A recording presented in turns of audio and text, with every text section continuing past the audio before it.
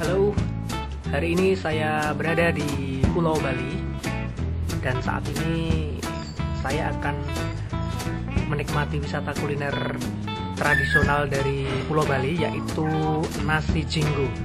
Jadi ayo kita lihat ada apa saja di dalam nasi jinggo ini.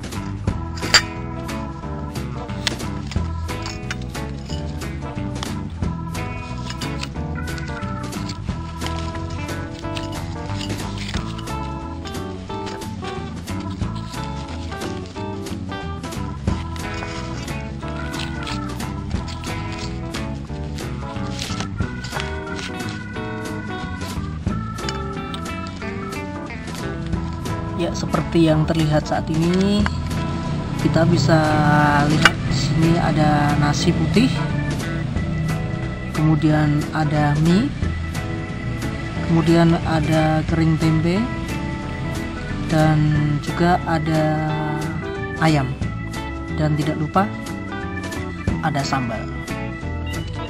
Sekarang kita coba rasanya.